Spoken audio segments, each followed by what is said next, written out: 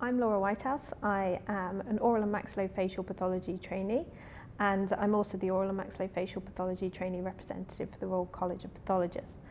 And patient safety to me is making sure that the right patient gets the right diagnosis at the right time.